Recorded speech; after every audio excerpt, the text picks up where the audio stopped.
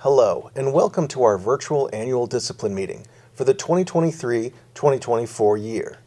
For those who may not know me, I'm Dane Lamont, the School Partnership Specialist for Penn Highlands Dual Enrollment Program. During our fall 2023 semester, we resumed our in-person ACE discipline meetings at the Penn Highlands Richland campus. There, our college liaisons were able to hold live sessions with our ACE instructors to discuss specific topics related to the disciplines that you teach.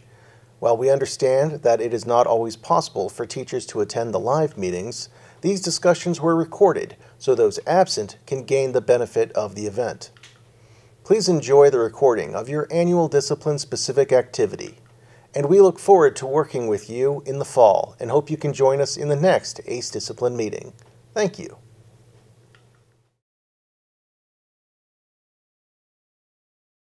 No, Good, my son's calling me. Okay. He's driving home from school, so give me a second, I'll be ready. Get that for sure. With that. Yeah, my daughter called when we were eating. I'm gonna have to call her at nine thirty, I got, I, she said, so. I'm Yeah. waiting for, to make sure the one gets picked up and gets sent the right way. Yeah, that course you were teaching, Michelle, that's my all-time favorite, that intro to geography, I just love it. When I don't have, when I have a semester where I don't have that, and my books are sitting there in the office, I feel like I'm looking at dead loved ones. You know? I'm not there yet, but hopefully. next year. Uh, And uh, world regional geography is another one I really like, you know, so, um, yep. So, hey, thanks for coming out. Appreciate it. I was surprised to see, uh, folk from Ju- Juniata Valley coming out. So, Are we your furthest away? Cause you said my drive's even a little bit further. Are we? Your, your drive is far, I don't know who's farther away. You, your, the drive up there is farther than I thought. Hmm. Northern Cambria, right? Um, yeah, Juniata Valley's, About uh, an hour and fifteen minutes. Oh, yeah, so then you're further. I'm only about forty. It's, it- I believe it says fifty-one miles. right, yeah. So we're your furthest schools and we're the ones that came. Right, yeah. Yeah, I saw, um, I saw I had a couple of Richland guys, who were just across the parking lot. I saw they were on, you know, the roster. And they usually do show up, they're Rich, they're Richland guys. And, um, but not tonight. So anyway, um, yeah, they're requiring, they require us to come up with, um, some pedagogy, they, they call it, to talk about. And, um, it's always kind of a dilemma for me. It's like, you know, what should I talk about? What, what's of interest to me and to others? And at the eleventh hour, I always come up with something that's, you know, of, that I learned from as well. And, um, I, I think I got something tonight we can, uh, discuss that's getting important. It's- It's gaining importance, uh, in education. And, um, I know we were, and, um, uh, Sarah and I were talking about teaching government and um, I teach teach that too. And my objective with education is always to do maybe something offbeat. It's true, but it's not conventional wisdom. Like in government, I really beat up on the, the public servant do-gooders who are doing bad things. That's kind of my thing. You know, it's uh it's true. I'm not making things up, you know, but that's what I that, that's kind of my essays and and um tonight I wanted to um talk about AI. Right? AI is happening, right? And uh I, I, I the one hesitation I had about this was well, how many of the folks that are coming are, are dealing with this at this juncture? Yeah, I know here I am, I'm under the impression that, uh, all the students know about it and are, are probably using it, right? How about you guys? You guys, uh, um, do you guys employ it in your room or do you know kids that are using it? You- How familiar with, I don't employ it, I do know that it's being used, like you said, I have a son who's in college. and- But I was wondering about AI and AI sources and resources. Things of that nature, so I know that it's there. And through him, I've been able to pay attention to where it can be seen and used and what sites I need to pay attention to. Yeah, Mhm, But as far as paper to this point, based on the papers that I've received back from my students, I'm not using it. you're not using AI. No. Okay, yeah, And I, I feel the same way. Um, and even when I do have a question on a paper, we're a Google school, so I'll go in and I'll look at the version history. I don't know if anybody else is Google. And you can sort of see time stamped as kids are writing papers. And if something shows up all at once, obviously that would be an indicator.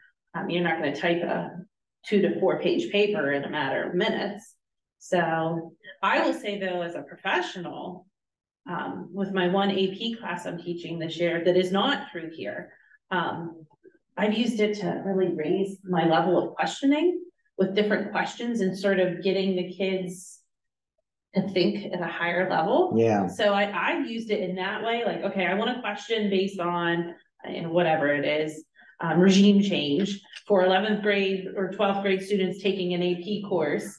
And I just type that in and it, it's amazing, like, the questions that come out of there are things that Hmm. I would never be able to craft myself.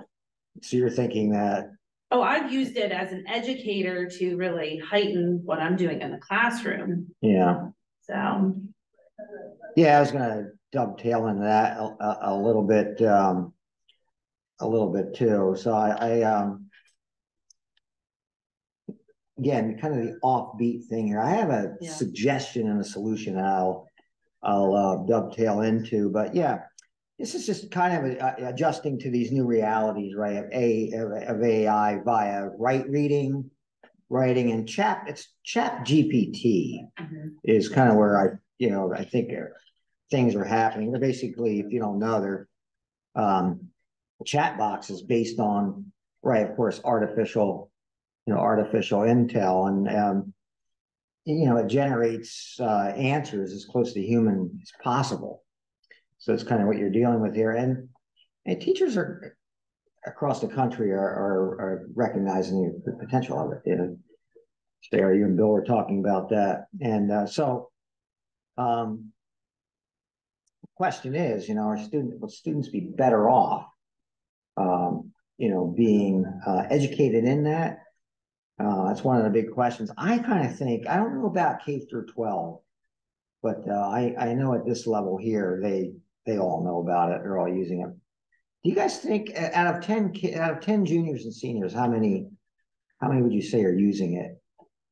Like for entire papers? for papers and, and, um, yeah, research. I might have two kids who really actually use it. I might. Yeah, Yeah, I don't see it. I don't see, I would agree with that, no more than that, for sure. Okay, that's probably not a bad problem then. Mhm.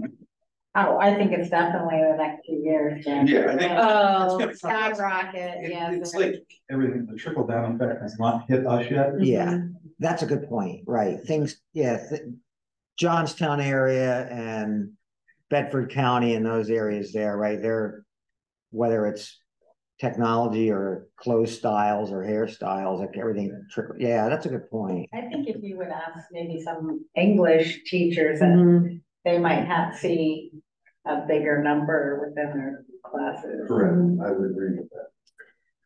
And I know the few times I've picked up on it, the words that students are using within their papers, I'm thinking like, okay, this young man would never even know Oh, what yeah. that word is. We, yeah. you And I feel like we tell pick that up in even with sentences, plagiarism, yeah, you know, when a kid copy and paste something right into their paper, you're like, this is not your own, it's not That's authentic. what I was saying, I, Yeah, I know that, the- that's what I'm saying, the papers that I received back, I'm like, if that's AI, they're forgetting tag punctuation. Yeah. capitalization, you know, they're pretty- yeah, It's like they're texting, yeah, I, I, that's what I think. I the first person writing, my gosh, in, in this paper, I am going to tell you. Yeah, you're not telling me anything. I would think we can't avoid it though. No, You know what I mean? you're It's correct. coming.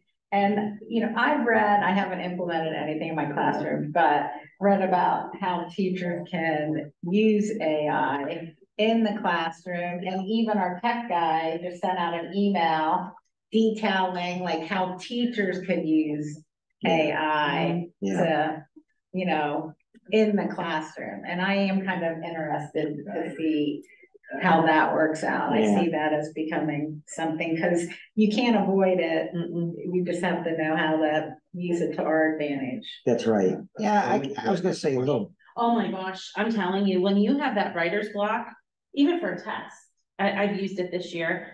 Where I'm sitting there, I'm like, okay, I need a really good essay question. And you know, you know what you wanna base it around, but maybe your wording or just trying to get that rigor. And I did, I, I got on, I typed it in and I'm like, oh, geez, this is better than what I could have came up with, and, and it was good, it was really good. And even for my modifications for some of my students that have their IEPs, I'll, I'll take the same content area and I'll just ask for it to be written to like a middle school level. And I'm like, that's a very good question too, and that would be perfect for these students, because now it's the same concept, I've just brought it down. Well, you're- AI has brought it down, Yeah. but yeah, see, you're asking AI to shape it into Mhm. middle school level and it's doing it, yeah. yeah. Right, yeah, I was gonna mention a little bit of that here too, how we could, you know, use it, you Mhm. know, a- a- as well, but, um. You know, when I was doing this, I was, uh, I was. Finding that a lot of educators. They're kind of, we were talking about the pandemic, right, how Mhm. pandemics changed Sure. things and. Right, um, someone the other day was. Talking to me about, you know, well, we're not gonna be able to do this because I said, let me see, let me guess. It's either climate or the pan or or uh, COVID. It's the reason why we can't do this, right? Making a facetious joke, right? So they Mhm. because there are always you know things that can't do this or that because of that, uh, you know. But uh, a lot of the educators were like uh, talking about how the pandemic has caused a lot of kids to lose basic skills. Mhm. And again, you guys would know this better than than me here, I think, at the college level. Um, you know, and then some of this stuff I think is probably at the elementary level. I, I hope skills such as writing their own name and stuff, and but uh, it's it's affected writing across the board. Apparently, uh, grades K through twelve. So you know, again, like what you guys are talking about is a time that students start learning about how to appropriately use this stuff. You know, AI and Chat GPT and uh, and then for nothing else, like I think you were talking about, Michelle, it's since it's gaining, seems to be gaining strength, it's probably equal, equally important that teachers learn how to, right, how to use it, because, you know, it's, what'd you say, Bill? It's trickling down, right? It's, Mhm. it's, um, so, and, you know, besides that, as it trickles down, um, teachers are gonna need to be unaware of it too. Um, you know, because it's gonna be real easy to cheat, to cheat with this stuff. And uh, again, at this level here, uh, at the college level, they, I mean, they all, they're all aware of uh, AI. So here's kind of where, uh, I, I'm kind of stealing this idea from some people that, you know, I was researching, um, did the research on, and they're saying that in order to get around the ease of cheating and the fact that a lot of kids, like I just talked about, are having they're they're declining in their actual handwriting and actual uh, penmanship, and that we start to go to more paper and pen type prompts and essays in the classroom, right? They probably have to, like, if you're doing a paper, I should start looking at that camera there too, because I get people out in video land are going to be looking at this. Um, it, it, it may involve, like if you're doing a paper on, if you want them to do a five, six page paper, uh, that may cut into the time, you know, some class time of actually dispensing facts and lecture, right? But, um, you know, kind of the, you know, the big picture thing I wanted to get to tonight was it's coming, AI is coming, it's easy to cheat. And, um, you know, it might be time uh, to start thinking about going back to the classroom paper and you know, paper and pen, paper and pencil type of prompts and and uh, essays. And I'll stop there for a minute. What do you guys think about that? Is that fe- you think that would be feasible as this starts to come our way, and you're going to have to be I think maybe for our, our classes where we see them hundred and eighty days out of the year, so we have, you know, the time, I would think, to do that. Um, I even remember going old school too. When I was at, at my school, the history department, all our exams had to be essay based, you know? We didn't have the multiple choice, and I had to, when we had our two hour final or whatever, we had to write right. our exam, you know? Um, and it depended on what level of class, but they would have topics. Mhm. And then you knew like all three of those five topics will be chosen, you know, so you had to prepare to be able to write the responses. I see maybe that becoming, you know, coming back more so as well. And we were talking about this too, about like field trips and stuff. Mhm. I see, I see my people like two days a week, Yeah. You know, for hour, fifteen minutes, and it's not feasible to do the, you know, most field trips, and, um, the paper thing would, um, you know, would cut into a, a lot of the time, you know, a five, six page paper, but, uh, yeah, you, hundred and eighty days, you see them, and, um, might be, I think you said it's feasible, it'd be feasible to I, do. yeah, this is my first time teaching the course, so um, they might know more, but I would think more feasible than somebody just meeting a couple times a week or a semester for sure. I know with our school being a Google school, we are pushed to do things more electronically. However, we actually have what's called GoGuardian. Um, and I can, while my students are working, sit at my computer. And I have two monitors, but I usually pull it up on my bigger one. I can see all of their screens at any given time. I can lock them out of anything else. If I only want them to be working on something, I can limit what resources they have available to them. I can, you know, open up a primary source document and say, "You- you're gonna look at this and then you're gonna type over here. And that's the only two screens they have open on their uh, Chromebook. Yeah. So I do think, like you said, we have that one hundred and eighty days, we have bell ringers, we have exit tickets, we have worksheets and maps and things that we do, so we can get some authentic assessment from them without having to worry about AI, but it is truly a concern on those bigger projects, those papers that are done over the course of a few days or a week, Yeah. yeah. So, yeah, it's something to, something to think about.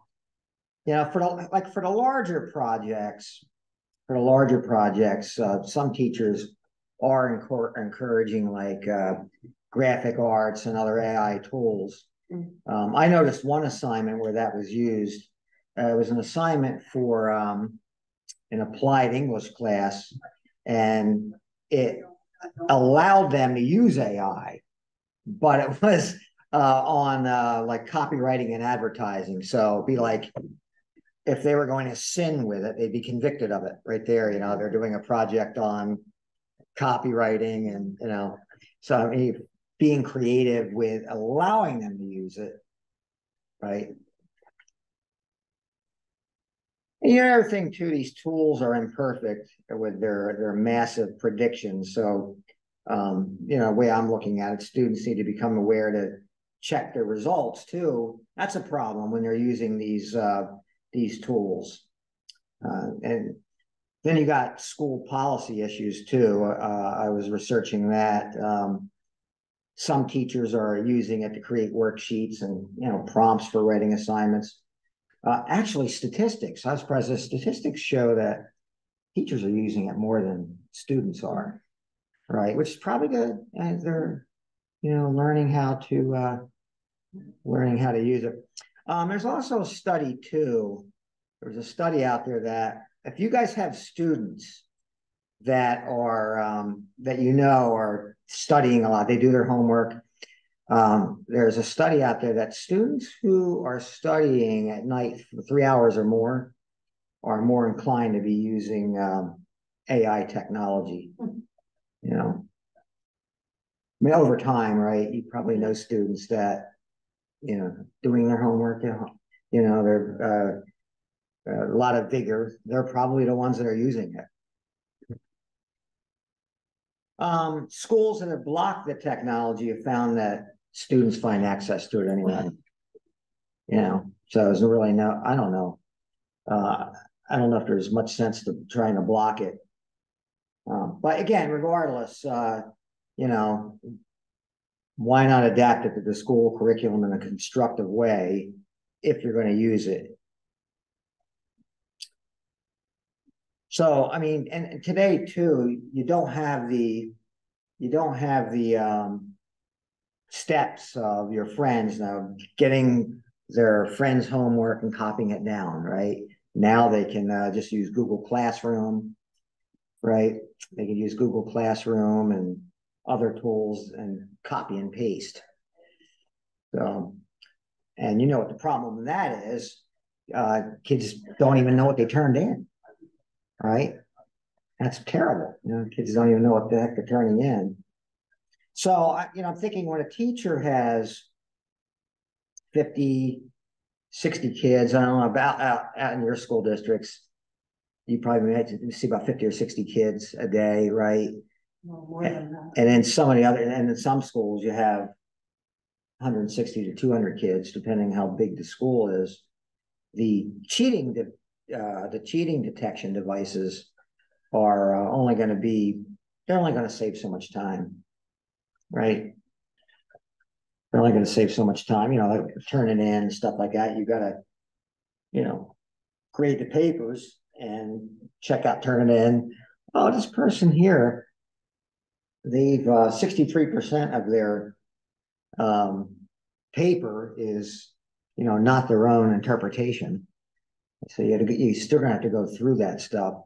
So I, I'm thinking here, after doing all this research, the solution is, you know, maybe write out the prompts and the essays on paper in class. Um, that will impact your class time, right? But depending on your expertise in the area and, and a sense for organizing time, I think we can make it work. That's kind of my radical proposal tonight, right? Because it's coming. To, to your point then, I think, you know, one of the things that we've instituted in classes outlines, Mhm. they have to outline their paper first. And by doing that, then you turn it in, you can, you can see a large portion of what is theirs and what they're pulling in or cutting and pasting. So that would kind of be a compromise to the issue of too much time being spent on that particular paper in the classroom. To allowing them to have the framework done when they walk out the door and then having to put the rest of it together at home. Yeah, I think Yeah. That would be a time, Mhm. an efficient time saver. For both sides. yeah, yep, And it also allows you, to, as a teacher, I think, maybe John, you have to correct me, but allows us as teachers to have a little bit more input as to the direction that they need to be looking. We can help them, Mhm. we can prompt their prompts a little bit more. yeah. I mean, it, it uh, I think what you're, you know, the angle you're looking at, it, um, it gives you, um, you know, a, a wider window on where they're going, you know, what they're, they're, what they're thinking and, um, you know, be able to, uh, you know, interpret, you know, where the mistakes were, why they occurred. Yeah, I mean, having a good balance because I think, I mean, I'm not saying throw AI out the window completely, right? AI or a lot of the, uh, some of the outside, out of class technology, but, uh, you know, it's, um, yeah, it's just getting easier to, uh, to cheat and the methods of doing it. Uh, kids aren't learning anything. They're just cutting and pasting and this way, um, uh, Bill, the angle you're talking about, it, um, kind of adds some guardrails to help, Good way to say it. some guardrails Yeah, like to that. keep the, uh, students, um, in the lanes we want them on and, um, Yeah, so, um. I, I'm contemplating, I'm contemplating maybe going that route next, uh, in the fall semester, maybe, uh. Only problem is with me is I agonize all the time. It's like, I only got so much time to get through the material, Mhm. like. Geography, right? Such an awesome subject. It's like, I want them to learn about certain tools at the end of the book. But I don't want to have an information dump. Mm. You know, I don't want to be plowing through things, so. Um, this semester I kind of opted to slow it up a little bit and we're not getting through the book, but I thought, eh, I think they're learning. You know, I think they're learning. I'm confident they're learning and, um, so I got that issue. And again, the time crunch of the paper, you know, five, six page paper. I don't know. I don't know. What do you guys think? How many, how many days, uh, how many, how many class periods would you be giving up from other types of instruction going this route?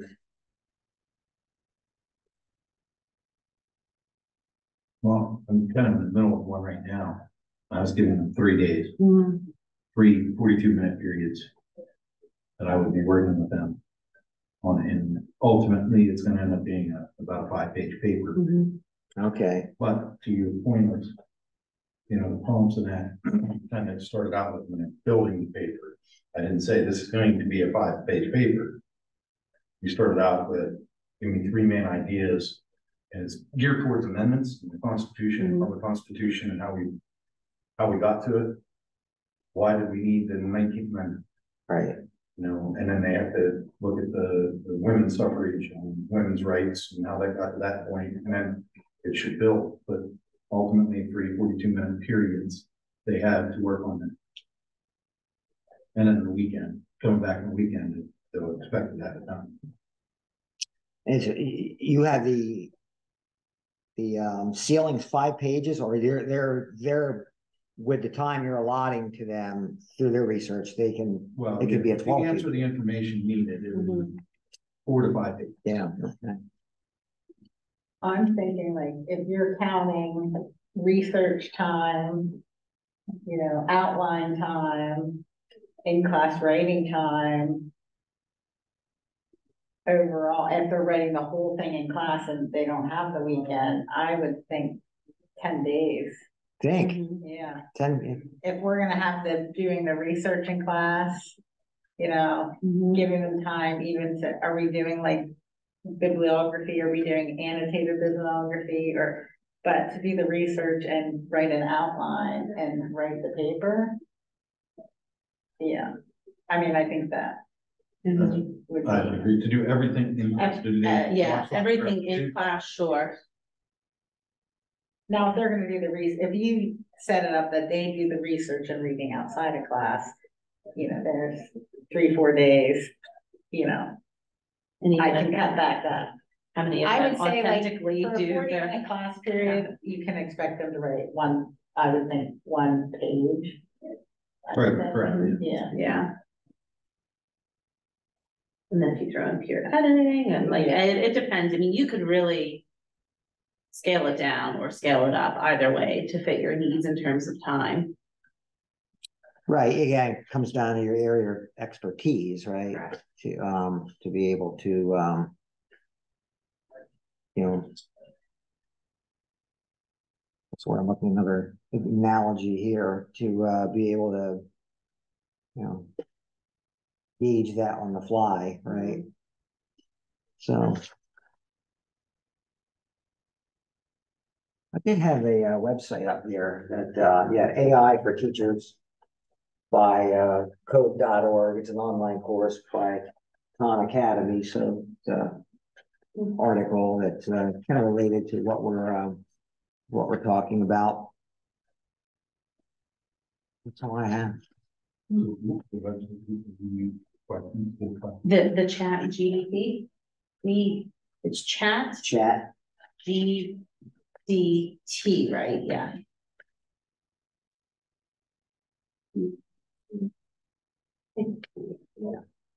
that DBT, And I would be honest. Like, we just did a curriculum rewrite And even for like my set of questions. GPT, Yeah. I think it's GPT, Sarah.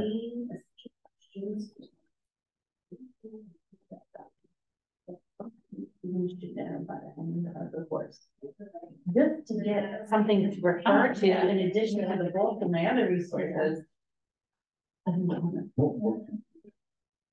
For AP Gov, we just got a new one, um. I don't use it for Penn Highlands, that's separate, I actually use it in our classroom, not malicious. It's comparative government, I believe the author's last name is Wales, W A L E S. We just got it from B W Publishing. Yeah, it's pretty like, so far, it's. I actually like the book I use for Penn High, Mhm. and I like the, up- I like, next year, I'm gonna, the, I think it's twentieth edition.